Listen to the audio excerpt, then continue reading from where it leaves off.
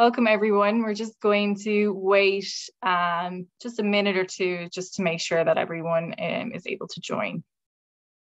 So thanks for coming out this evening.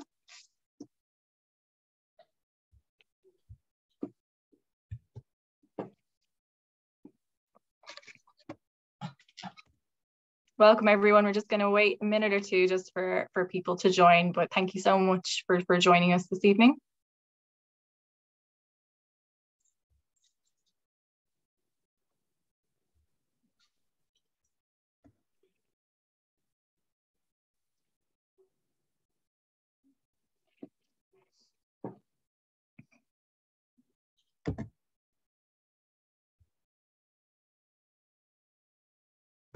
Just waiting just a little bit longer just to see if there's anyone else um, waiting to come in and join us this evening.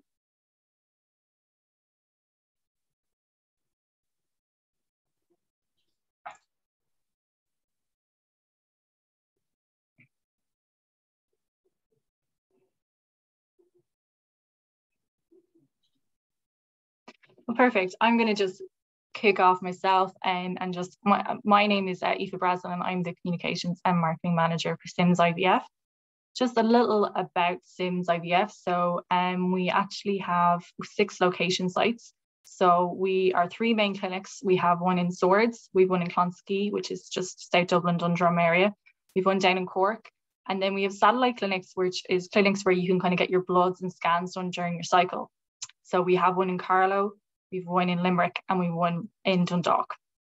So those are six locations. And um, we're part of Virtus Health, which is a, a global fertility provider. Um, so a great network of support. Um, and yeah, if you've any questions or anything like that, there's a Q&A down at the bottom there. And what we'll do is we'll go through them at the end. So just pop them in during the talk if anything kind of comes through and, we'll, we'll answer it then. So I'm going to hand it over to Mandy Leslie, who is our lab manager in the Swords Clinic. Um, thanks, Mandy, for coming out tonight. And um, I'll hand it over to you. Great, thank you very much. Yeah, just bear with me a minute here while I figure out the screen sharing scenario. And then we'll go from there.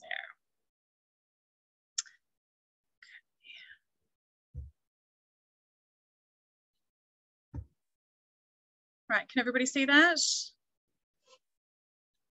yeah, can you see that? It. Yeah, we can see it, Mandy. Super. Okay. So thank you to everyone for coming. Um, I'd like to welcome you to the lab in Sims Swords. So we'll give you a quick overview of the team um, before we, oh, sorry, what's going on here?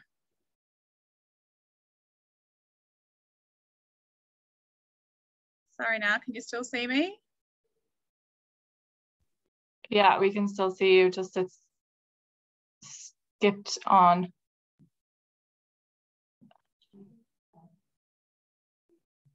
Messing around now. Sorry now. Share again.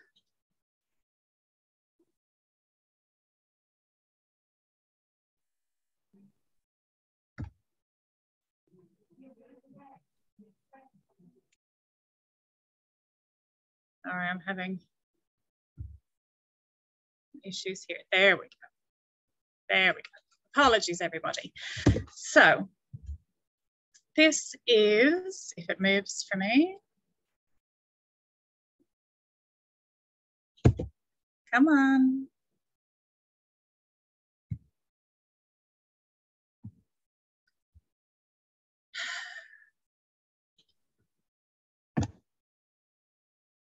There, okay. So welcome everybody, apologies for all that. So this is the new lab, uh, lab in embryology in Sims Swords. So we'll give you a quick overview of the lab team first and introduce ourselves. So at the moment, there are eight of us in total. Um, so we have a lab manager, deputy manager, three senior embryologists, and uh, one almost trained embryologist and two trainees. So between us, there are nearly 70 years of embryology experience within the lab. So our job is unique in that we play a big part in the IVF cycles that come through the clinic, but you really get to see us. So today, all that's going to change, and all the pictures and videos in the presentation are our own staff because unfortunately we had no models available for the making of the presentation. So here is the door to the lab and please come in. So if you're coming through to us for a treatment cycle, the first time you see us will be through one of the theatre hatches at the egg collection. So here's the theatre hatch, there's a little door in the, in the wall, and we will open that up and one of the embryology team will greet you and perform an ID check. So you'll be asked your full name, your date of birth, and also if you're coming through for treatment with a partner, your partner's name and date of birth as well. So then we show you an ID card. Now this ID card will contain information to identify you within the laboratory and it becomes important in a minute. So we will confirm a few things with you and your doctor as well, such as the method of fertilization we're going to use, um, if there's any other important pieces of information we need to know about the cycle. And after that, we'll give you some privacy while the doctor administers your sedation and gets you ready for the egg collection. So the hatch door again will close and we'll give you a few minutes. So while that's happening in theatre with yourselves and the doctor, what we're doing in the lab is retrieving some warm dishes from an incubator. So the dishes will come into the incubator. So this is our crib here, and it has a microscope attached to it. So we put the dishes into the incubator and we use the card that you've just seen and we activate your profile on our electronic witnessing system. So every time we assign a dish to your name or remove anything from one dish or tube to another, we use a, what we call a double ID check. So this involves two embryologists the first one reads the name and the date of birth and the patient number from all the dishes and the tubes that we're about to use. And the second embryologist has the paperwork in front of them and reads back the information from the paperwork. So we're confirming that we have the right patient and the right partner. So our electronic witnessing system is used as a backup and it electronically ensures that we have the right patient and the right partner. And it creates a record of who performed the procedure and puts a timestamp on everything that we do. So once the egg collection starts, the theatre hatch will reopen and we'll, we'll retrieve the tubes containing follicular fluid. So this down here are tubes of follicular fluid. So we take that fluid, put it inside our crib here with the microscope attached. We tip the fluid into a dish and then we carefully search around in the dish through the microscope and find all the eggs. So we pop those eggs then into a separate dish. So this is a dish here containing warm media. So that's fluid that helps uh, to grow and feed eggs and embryos. So we collect all the eggs in there and you can actually see them. If you can see in the middle here, there's little white spots. So that uh, they are the eggs that are in the middle of the dish. And those, if you focus in, if you put the microscope to focus in on those eggs, this is what you're actually looking at at the bottom here. So this is an egg in the middle here and all the other cells around the outside, that's called the cumulus, so the cloud, and they help to protect the egg and feed the egg while it's in the follicle. So the next page. So once we've collected all your eggs, your partner, if you're having treatment with a partner, is requested to supply us with a sperm sample. So he'll be shown into a collection room. He'll be given um, a, a pot and asked to bring it back to the laboratory when he's finished. So if you're having an egg cycle, obviously we'll skip this bit and if we have um, patients going through donor sperm cycles, we will already, ha already have the donor sperm in the laboratory at that point. So once we retrieve the sperm sample, we do an initial assessment. so what we're looking for is three different things. The concentration of sperm, so how many there are, the motility of the sperms, that's how well they're moving, and the morphology of the sperms, that's how nice they are to look at. So this picture shows a few variations of sperm morphology down the bottom here. So all these are typical of human sperm, and it's only the very first one that is actually considered normal. So the vast majority of human sperm is actually abnormal looking, and anything over 4%, just 4%, is considered a normal sample. So if there are plenty of sperm like this first video and they're moving well, the usual treatment would be IVF. So if there's a lower number of sperm like the second video, then the usual treatment would be ICSI, and we'll get to the difference between those two in a minute. So at this point, when we've got the sperm sample, we would usually put the, the sperm sample over what we call a gradient. Now the gradient acts as a two-step filter. And what we can see down the bottom here, these two little orange parts are two different dilutions, two different concentrations of this gradient. And we've got semen sitting at the top. So then we put that in the centrifuge, spin it down for 20 minutes, And what that does is it filters out all the good sperm from all the other sperm, all the other cells, all the other seminal plasma. So what you're left with at the bottom is the good quality sperm. This is the, rest, the remainder of the gradient here and the remainder of the semen uh, sample that we have on the top. So once we've filtered out the good sperm, we count them again to make sure we've got an appropriate concentration and then we place them into an incubator for the afternoon. So inseminations are always done in the afternoon because the signs of fertilization are only around, are best seen, I suppose, around 18 hours post insemination. So our embryologists are very fussy and they don't want to be coming in and doing the fertilization checks at three in the morning. So our uh, inseminations are always done in the afternoons. So for an IVF cycle, all we're doing is we're adding good quality sperm to the dish of eggs that we collected earlier, and then they're placing them back in the incubator to fertilize overnight. So for an IVF cycle, we can usually have around 10 eggs in a dish, and we add in about 150,000 sperm to them. So IVF fertilization rates with good quality sperm sit around 60-ish percent on average, and that depends on egg quality. So the other method of fertilization is called ICSI. Oh, uh, sorry, insemination is called ICSI, and this stands for intracytoplasmic sperm injection which basically means that we're injecting a single sperm into each of the mature eggs. So an ICSI cycle is more invasive than just an IVF cycle where we just leave them to fertilize themselves. So the eggs, when we collected them, there was a little picture, you saw that there was a cumulus, a cloud around the egg. So for an ICSI cycle, we actually need to remove those cells for us to get a good look at the egg itself. So all the mature eggs can be injected with a single sperm. And we know that this egg here is mature because of the presence of this little cell at the top. So this shows us that the egg has gone through its final maturation process and it's ready to receive sperm. So the, the maturation process was triggered to continue by the trigger injection that was given to the patient just before their egg collection. So when we've got the eggs ready to go, first we need to pick a good looking sperm. So if this video will play for us. So the first thing we're going to do with this sperm, we're going to swipe at its tail and that stops it moving. And we do that for two reasons. The first reason is it releases activation factors, which help to start the process of fertilization within the egg. And the second reason is it makes it easy for us to catch. So once we've collected our sperm, there he goes. So, sorry, I'll pause that one and we'll start this one. So once we've collected our sperm, we go into the drop where all the eggs are. And we use some gentle suction to hold the egg in place. So this is holding the egg in place.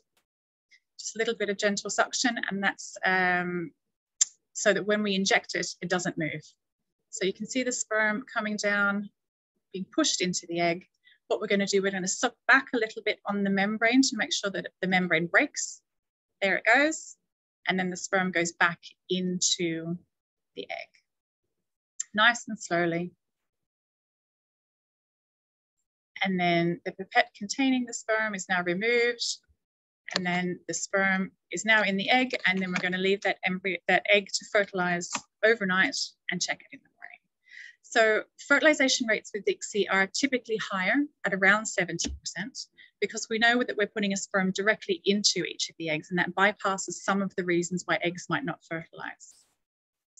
Um, the ICSI cycle is obviously more invasive because we're sticking a needle into an egg and we do run the risk of the egg degenerating, um, which is why we go to great lengths to train our embryologists at this technique before we let them loose on patient material. So the next morning, which we would refer to as day one, we're checking for fertilization. And what we want to see is the presence of these two little disc shapes. So you can see one here and another one here. So these little disc shapes are what we call pronuclei. So the two pronuclei show us that the egg is normally fertilized. So anything more or less is abnormal and won't be used any further. So you can see over here, we've got three, one, two, three, and this one down here just has a single one. So once we complete the fertilization check, we usually call the patient um, to let them know how many eggs are fertilized and will then be continuing their journey within the laboratory. So at this point, many of the patients choose to avail of, of the embryoscope. So the embryoscope is an incubator with a camera inside. And it takes a picture of each embryo every 20 minutes and it shows us how well the embryo is developing over the next few days. So this is our embryoscope right here, this little blue thing. And it's a great training and decision-making tool. So firstly, the machine acts as an incubator. It keeps the embryos at a constant 37 degrees. It provides them with oxygen, with carbon dioxide, and that helps to create optimum conditions for the growth of the embryos over the next few days. But secondly, the embryoscope takes a picture every 20 minutes, and then it's able to create a video from those pictures to show us exactly how the embryo behaves. So we place the fertilized eggs into a special dish, which is up here in the corner.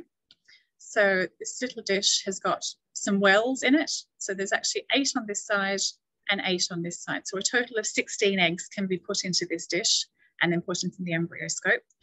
And we can watch the magic happen without even having to disturb these embryos. So the camera now knows where each of those little wells are located within that dish and can take a photograph of them directly. So we get images like these. So what we're looking at here is an embryo developing over the next five days. So these little bubbles that you can see in here, these are the cells. Okay, one, two, and they're surrounded by a jelly shell. So what we want to see are nice even sized cells. We want to see no fragmentation or minimal fragmentation. So a little bit of fragmentation would be little bits here, the tiny little blebs. Um, and we want to see appropriate cell numbers for each day of development. So we want to see two to four cells would be around day two of development. Between sort of eight and 12 cells would be day three. We want to see the embryo compacting on day four, and that's the embryo organizing itself into the blastocyst structure that we want to see for day five. So without an embryoscope, these would be the usual time periods we would be taking the embryo out of the incubator to observe them and then putting them back in. But when we have an embryoscope, this is what we get.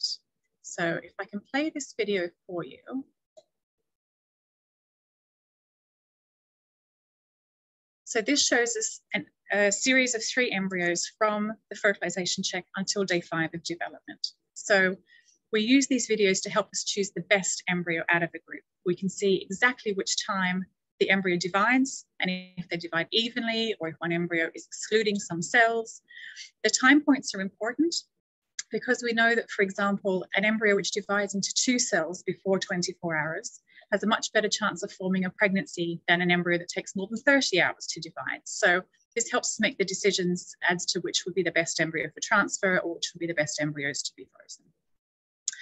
Um, it's also a very good training tool for our trainee embryologists to actually see how embryos divide and they become aware of why that's important. So the trainees spend hundreds of hours watching videos like these and it takes over two years to produce a fully trained embryologist. So I will just stop that there.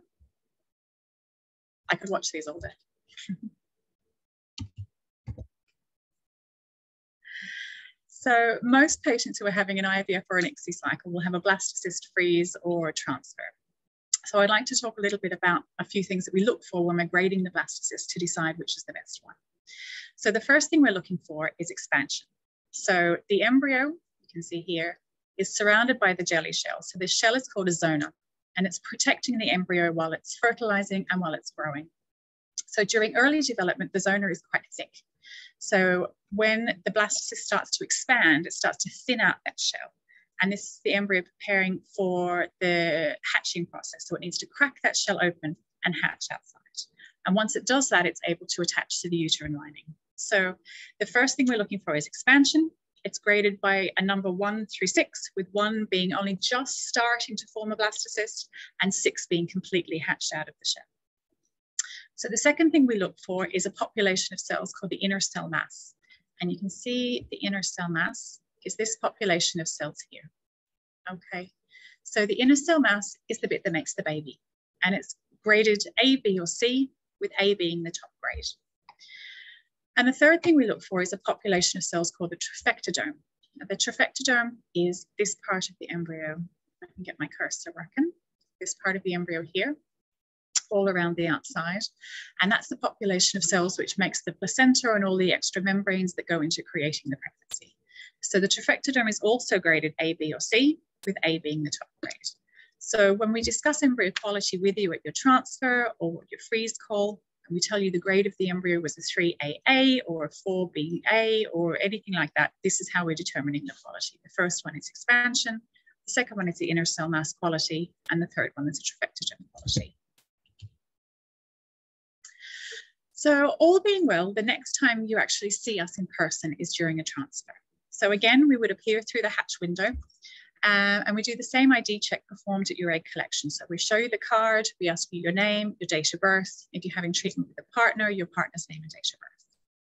So then we'll discuss the quality of the embryo with you, and then we'll ask if you have any questions. So while the doctor prepares for the embryo transfer, we would close the hatch door again and we will get ourselves organized. So while we are organizing ourselves, the doctor is checking on the ultrasound, inserting the catheter into the uterus under ultrasound guidance. And we would be doing another ID check inside the lab with your patient card and the dish containing the embryo or embryos that we're about to transfer. So when the doctor calls out ready, at that point, we start to load the embryo into the catheter and you can see here, this is us loading the catheter. So we've got a, a long plastic tube with a syringe at the end that's creating suction. So she's using the little bit of suction to pull up a very, a very small amount of media, the fluid, with the embryo inside. And then that's going to be passed through the door, uh, through the hatch into the theatre to the doctor. So that's it loaded, comes out of the crib and into the hatch. So once we've passed that through, then you should see um, the catheter being passed through into the uterus on the ultrasound. So this ultrasound image down here, what you're looking for is the camera comes from the top. So the probe is on the abdominal uh, wall. So the probe is at the top. I can get my cursor working. The probe is up here. This is a full bladder, so it just helps us uh, make the transfer a little bit easier. This is the uterus down here and this is the lining of the uterus in the middle. So this is the catheter, the white bit is the catheter coming all the way in and depositing this little block, this little white spot, and that's the embryo transfer done. So when the doctor was finished doing the embryo transfer, they would always hand the catheter back out to us. So we're going to check under the microscope to make sure that the embryo is gone. We will call out clear so that you know the embryo has been successfully deposited into the uterus and that's the transfer complete. There's no sedation and no needles required. So this is a question that often comes up. So should we have a single embryo transfer or a double embryo transfer? And this is a decision best made with your doctor because they can take into account your history, your situation, and help you make the best decision for your case. but as an example, I can give you some quick statistics. So we'll take our, our pretend patient and we'll call her Jane. So Jane is 35 years old. Jane has two lovely blastocysts on day five. So if she has a single embryo transferred, her chance of pregnancy is over 50%. If she has a double embryo transfer, her chance of pregnancy with two embryos is maybe up to 60%. So the chance does increase, but it doesn't double. So if she gets pregnant, having transferred two embryos, she her chance of having a twin pregnancy is one in four. So one in every four ladies in this scenario will have will start out as a twin pregnancy. So twin pregnancies sound lovely in theory, but are riskier. They will miscarry more often and they will deliver early more often with potential complications for mother and babies. So given those risks, our patient Jane is statistically more likely to be able to take a baby home if she has her embryos transferred one at a time. So one fresh and one frozen. Chance of pregnancy with the one fresh is over 50%. Chance of pregnancy with one frozen is around 50%. So obviously this scenario needs to be discussed with the doctor at the time of consultation, but typically we recommend the transfer of a single embryo because we want to keep the chance of complications for everyone as low as we possibly can. And our ultimate goal is not just a positive pregnancy test. The ultimate goal is the baby to take home. So if there are other good quality embryos, then we can freeze them for subsequent cycles. So to successfully freeze embryos, what we actually have to do is we dehydrate them. So for example, if you've got your ice cube tray and you put water in it, you put it in the freezer.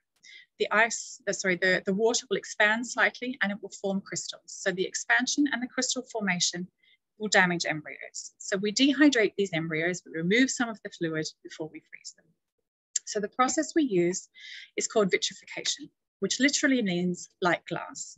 So there's no crystal formation and the embryo is protected in a tiny little bubble of fluid, which freezes almost instantly. To freeze them, we use something that looks like this. So this is a high security straw.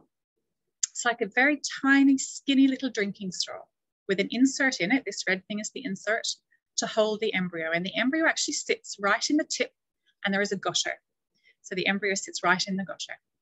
So once we've loaded the embryo onto that gutter in the tip of the rod, we would put it into the straw, we would seal the end of the straw, and then we plunge the straw into liquid nitrogen. So this keeps the embryo at minus 196 degrees Celsius until it's ready to fall. So these embryos that have been frozen do not develop and they do not degrade while they're frozen. So this, this photo here is one of the tanks that we have in, in the clinic. So each patient is given an address within a tank. So we know where every single embryo is in the building at any point in time. So for example, your embryos might be stored in Daisy, canister one, cane three. So Daisy is the name of the tank. Um, the canister is this metal bucket and the cane is these metal rods. If I can get my cursor over here sorry there. Anyway, the metal rods, there we go. So the metal rods are uh, allocated to a single patient and they have a little goblet, a little, a little, um, little bucket on the bottom and all the embryos can be stored in there. So by freezing additional embryos, we increase the chances of success from a single stimulated cycle of treatment. And the embryo survival rates from vitrifying embryos is over 96%. So the chances of pregnancy are almost as good as having fresh embryos transferred. So I'd like to talk a little bit about our PGT service. So PGT stands for pre-implantation genetic testing, and it involves taking a biopsy of a blastocyst, the day five embryo, before we even do a transfer and we test it for the number of chromosomes it contains. So for example, we can test embryos to detect if it will be affected with Down syndrome or various other genetic conditions. So a small number of cells are removed and they're placed into a test tube and sent off for testing. This testing can check that all 23 pairs of chromosomes that are actually supposed to be present are there. And based on these results, your clinical team can determine which of the embryos that we've created are okay to use. So this extra testing and counting of chromosomes can give couples peace of mind, particularly if they've experienced multiple miscarriages or if they have genetic conditions that run in the family. The testing can be helpful as well because the embryo quality that we see as embryologists is no guarantee of chromosomal abnormality. We can tell you that the embryo looks lovely, but we have no idea what the number of chromosomes in the embryo actually are. So chromosomal abnormalities in embryos increase in accordance with female age, and we know that this is an important part of many patients' journey to get a healthy baby is this extra genetic testing. So the embryo you see here is a top quality blastocyst. We would biopsy five or six of the cells from the part of the embryo that's already hatching, and then we'd send that sample off for testing. So when we get a report back, we can see that the copies of the chromosomes here where's my little cursor? So you can see the copies of the chromosomes here. And this embryo would have three copies instead of two of chromosome 16. So this would be referred to as trisomy 16, and that is a leading cause of miscarriage. So this embryo would not be suitable to be transferred. So at Sim Sims Swords, we're currently in the process of obtaining our license to perform this procedure, and we expect to be able to offer it to the patients within the next couple of months. So at Sim Sims Swords, we also run the Oncology Fertility Preservation Service for Ireland. Um, it's partially funded by the Department of Health and the rest we do fund ourselves. But the aim of this service is to provide fertility preservation services to people who've been newly diagnosed with cancer. So the patient needs a referral from their oncology service, ideally as soon as possible. Um, and they need to be given a few weeks clearance. So that means that they can wait a couple of weeks before they need to start treatment. So typically, These patients would be seen in Sims Swords within a few days of their diagnosis. Um, and we do that because we understand the time sensitive nature of this condition. So, as you can imagine, this is really overwhelming time for these people. Um, and we do need to see them before their treatment starts because chemotherapy and radiotherapy can be very damaging to ovaries and testicles. Any surgical interventions can also be damaging, obviously, if it involves the ovaries or the testes, or even if it's close to other uh, reproductive structures, such as fallopian tubes or the nerves which control erection. Um, excuse me, I think it's important to say here that some patients are not suited to fertility preservation. So if the oncologist can't give us that amount of clearance that we need, those couple of weeks that we need to perform the treatment, then it might happen that the patient's condition is so severe that they can't wait that amount of time and they must start their treatment immediately. Or in some cases, it's also that the actual fertility preservation might exacerbate their cancer. So, such as the case, for example, with um, hormone driven breast cancer, so something like that. So, we would always defer to the oncologist's professional opinion because they're trying to save someone's life rather than just saving their fertility. So, first and foremost, we have to do no harm. So, the consultation and agreement between the oncologist and the surgeon and the Sims Swords team is vital in all of these cases. So, for men who are seeking fertility preservation treatment, they need to have blood work done and then they can be booked in to provide us with a semen sample. So, all of that can happen within sort of a week or two of their diagnosis. So we aim to freeze up to eight straws of semen. So when we do a sperm freeze, we would always thaw out one of those straws to make sure that the sperm has survived the freezing and the thawing. Um, so also we can inform the patient that the sperm has survived, but so that if we need to use it in the future, we know what to expect of the sample when we thaw it out. So we're usually left after we've frozen the eight, we've taken one to determine the survival, and then we're usually left with seven straws in storage. And what that would translate to usually would be seven different cycles of treatment if the patient needs to come back to use it in the future. So those straws can be kept in storage for as long as the patient needs it. The first few years are free of charge. Um, they will eventually be charged a storage fee depending on how long they choose to keep it in storage. And that's it. Then these men can go back to their oncologist and start their treatment knowing that their fertility is preserved. So for the ladies seeking fertility preservation before oncology treatment, the process is a little more complex. So we require three to four weeks of clearance given by the oncologist, and that allows us time to stimulate the ovaries to produce the maximum number of eggs. So we collect the eggs, as we've seen before, and we can either perform an egg freeze or an embryo freeze. So with an egg freeze, that would be appropriate if the lady is young or if she doesn't have a long-term partner. But if she is in a long-term relationship, she may decide to freeze embryos with her partner. So if the lady has a partner and chooses to freeze embryos because the survival rate of embryos is, oh, sorry, the survival rate and the pregnancy rate is better from frozen embryos than frozen eggs. So when the embryos are created, both partners then have a right to veto their use in future. So the consequences of freezing embryos could be that if the relationship breaks down, the part one partner or the other partner may not uh, give consent to use it. So her reproductive material, she, she may lose access to be able to use it. I've, I've touched on this already, um, but egg freezing is becoming more popular in Ireland. So I just thought I'd, I'd mention it again. So ladies who plan to have children but haven't found the right partner yet, or if they're waiting for a better time to start their families, they may come to the clinic to freeze their eggs and this is happening more and more often every year. So if you're considering freezing eggs, earlier is always better. Um, and we would typically get more and better quality eggs from a 30 year old, say, than a 40 year old. So the process starts off the same way. We start with the IVF cycle, eggs are collected, and then the, the cumulus, the cloud of cells that we saw at the beginning, that's taken away, and we can tell which ones are mature. So the mature eggs are frozen on the same day as they're collected. So they're often frozen in small groups, usually between two and four uh, eggs on each straw. And that's because we almost always thaw them out all at once if the patient wishes to use them in future. So they can be inseminated with a partner's sperm in future or a donor if she wishes, and then embryos can be grown the same way as we've just discussed already. So we currently run a busy donor sperm service in the lab as well. So we order donor sperm every month from a company called Cryos and they're in Denmark. Um, so we would order for couples, we would order for single ladies, and we would order for same-sex couples wanting to have a baby. So couples would consider using donor sperm if the male partner has a very poor uh, uh, semen sample, if he has no sperm in his ejaculate at all, or if he carries a genetic condition that he doesn't want to pass on.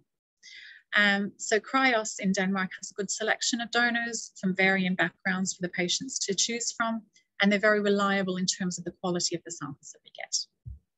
So in Ireland, because it's such a small country, the use of individual donors is kept to a minimum. So there's usually only three families in the whole country using the same donor. So a quota system has been implemented so that if the, the quota of three families has already been reached, then we cannot order that donor any longer. So for this reason, we ask patients who are ordering donor sperm to give us their five top choices. So from that group, the lab will find which donor has the appropriate sperm quality, which has the right number of straws for us to be able to purchase, and who still has a quota available to be taken. And that's the visit to the lab. So listen, everybody, thanks for, for visiting us. And I hope you enjoyed your visit. And thank you for allowing me to show you around. I'll hand back to Aoife. And if you have any questions, feel free to get in contact with us. Oh, thanks so much, Mandy. Um, so we did have a few questions come through. Um, some questions are a little bit more kind of specific to that person, so we're not going to be able to answer every question that comes in, but we'll do our best to, to answer them um, in full. So there was one here just around um would sperm I think he was saying um if the sperm is tetrazoospermic, is this a huge barrier or complication for IVF? To teratozoospermic? Yeah. Yeah, teratozoospermic. So that's the the sperm doesn't look very nice. So it if the if the sperm is less than 4%, remember I, I mentioned 4% we would consider normal. If it's less than 4%, we would consider ICSI to be the, the treatment of choice. So mm. the risk is that if we do IVF and we mix the eggs and the sperm together, the, the shape of the head of the sperm isn't able to penetrate through the egg to be able to fertilize it. So to bypass all of that and the risk of, of getting failed fertilization, we would inject a single sperm into the mature eggs. Perfect. Um, yeah, someone's asking about the, yeah, this is recorded, so you will be able to rewatch it, so that's no problem. And um, so day three versus day five transfer. This is yeah. kind of a common question.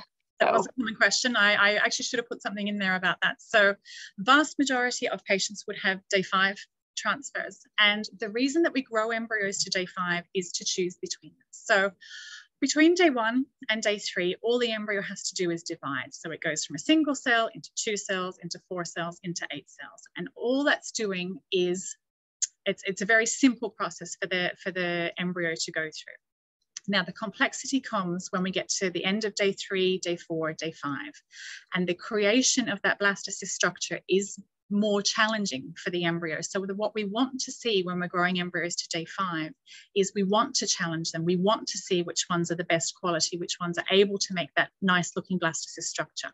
So if we do a transfer on day three, all we've just seen is a couple of cells dividing.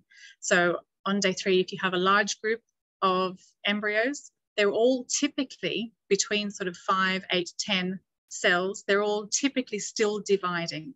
And it's very difficult for us to choose which would be the best of that group. So what we would like to do is to grow everything onto day five. And by the time we get to day five, those, say if we had 10 good quality day three embryos, you might end up with four or five good quality day five embryos. So you get a drop off, and there is for everybody, there's a drop off between day three and day five. And we want to see that. That is typical of human embryology because it's showing us which is the strongest ones, which are the ones that are able to make it to the blastocyst stage. And from that cohort, then on day five, we can choose the best one, the one that looks the nicest, the one that has the best history if we've had it in the embryoscope. We can see what how the division patterns have gone and choose the best one on day five. So you would get better pregnancy rates from a single embryo transfer on day five than you would as a single embryo transfer on day three, because we know that it is a, it is a strong enough embryo to be able to create a blastocyst. Perfect. Um, so someone's asking, would egg freezing be recommended for a young woman, 28, who has endometriosis? That would be probably a, a question to ask one of the clinicians, but typically, absolutely. Like yeah. if, if you're yeah. even considering it, come and have a talk to someone. The earlier, the better. And yeah. one thing we do say, I, I don't think you're ever going to regret freezing them. Mm. And if you want to use them in the future, great. If you don't need to use them in the future, you know, even better. But I don't think you'll ever regret freezing them in the first place. Yeah. And you Perfect. might regret not freezing them in in future. 100%. Yeah. Um, there's a few questions there around asking about what qualifications people are looking for um, for tra- to become trainees. I would encourage you if you want to just email communications at sims.ie and I can get you in touch with with the lab team there because um, I think there's a few questions coming in here, which is great. Great to see people are interested in getting into the field. Come, come work with us. um, first, I, tell you about my, my qualifications. So yeah. all of us in the lab have kind of come at this from a different angle. Personally, my qualifications, I did a, um, a degree in medical science at university. And then I did a, a, graduate diploma and a master's in clinical embryology. So this was 15 years ago. um, the, there weren't that many um, master's courses like that around, but now there are a good few more. I obviously did mine in Australia, um, but there's, I think there's a few now in the UK as well. So there's nothing in Ireland at the moment in terms of a master's in clinical embryology, but there are, I think, a couple in the UK. Perfect. Um, so how long does it typically take to get results from PGT testing? From PGT testing, so when we do the biopsy, we would typically send them off within the week. So we would sort of batch a few patients together and send them off all together. So they'd be sent off usually within the week. And it takes about 10 days to two weeks for us to get results back. So when patients come through for PGT, they would be you know, booked in for a return consult a couple of weeks after they've had their cycle, and we would have results back at that point for the doctor to discuss with them. Um, so this is a question that does come up a lot, and it is kind of a difficult one to answer. But it's it's, it's about like what is the average number of IVF cycles that people generally have in order to get you know to, to, to get that positive pregnancy test. I know there is a that lot is, of variables. That, that is a hard one. Yeah, yeah, that is a hard one. So yeah. it's it's it's it's how long is yeah. a piece of string really yeah. Really depends yeah. on the situation. It depends on your obstetric history your gynecological history your you know partner's um, medical history. And it, it, depends how many children you want. You know if, if you get a, a, baby after one or two cycles and you want you know three or four kids you know how many how many cycles does it take? Now keep in mind when we do one stimulated cycle a lot of patients will get frozen embryos from that cycle as well. So you don't necessarily have to go through all the stimulation, all the drugs every single time. So you would do it once. And luckily enough, a lot of patients get embryos to freeze as well. So if they have a pregnancy with that single embryo, terrific. And they can come back in a couple of years' time. If they don't, they can come back within the next four to six weeks and have a frozen embryo transferred and they don't have to go through all the all the hormonal injections and stuff every time. Hmm. Yeah, I don't think a lot of people realize that that actually you can have, you know, from one IVF cycle, you could actually have a huge amount of embryos from that. Whole so, family. Some, yeah. some patients have had their whole family. They've had their their three or four kids from a single cycle. So yeah. It just it depends how your body responds to everything, and that, that is that is a question that doesn't really have one answer. I'm sorry. Exactly. No. Um, I think I've answered, we've kind of gone through majority. Like I said, if there, there's some ones that are a little bit more specific, um, that probably we wouldn't be able to answer on this forum. But like I said, I would encourage anyone to to to use the communications at sims.ie email and I'll pass on any any questions to the team there and we can reach out directly to, to you guys Absolutely. there. Absolutely. Yeah. Um, I'll check to see if there's any other ones. Yeah, no, we answered that one. Mm, yeah, I think that's it for now. Yeah, I'll give it one more minute. See if there's anyone else has any other queries. Um, but like I said, I can I can answer we can answer some of these offline. Yeah, Absolutely. Yeah. So if you think of anything, you know, this evening or in the next couple of days, absolutely send um, Aoife an email. So her mm. email address is Aoife, is it communications at sims.ie? Communications, yeah, communications at sims.ie, yeah. Perfect. So um, send Aoife yeah. an email and she can get in contact with me and, and we can help you there as well. Yeah. Um, multiple, yeah, there's one around assisted hatching. Yeah um, just maybe an explanation around that. I know that's kind of one of the things that, yeah, was not really done on a regular basis or kind it's not. Of... It's not typically done. So what it is, on day three of embryo development, we would pop a little hole in that jelly shell, that zona that's surrounding this, the, the egg, the embryo. So by popping a little hole in it, it helps the embryo when it gets to the blastocyst stage to be able to hatch out. So instead of expending a lot of energy and metabol um, metabolites to be able to push its way out of the, of the zona, we've already created a breach in there. So it's easier for it to just push its way out or you know fall out. Um, so we would do that if we think that the the zona is quite thick or if it feels particularly if we're injecting it, if it feels quite hard, we would recommend that for some patients. It doesn't happen very much anymore. Um, sometimes if we do a, a, frozen cycle after the, the thaw, we would pop a little hole in the, in the the zona if it's still quite thick, because we don't want an embryo that's just been frozen and thawed to then have to expend all this uh, extra energy to be able to push itself out of this zona. And it does need to push itself out before it's able to start the implantation process once it gets into the uterus. So just to save it the trouble, we would sometimes pop a little hole in the in the zona just to, to help it hatch out. Perfect. Now learn something new every day. Um, and someone's just asking, is PGT harmful in any way to an embryo? It's it's taking the biopsy of the embryo is I wouldn't say harmful, but it's not going to do it any favors.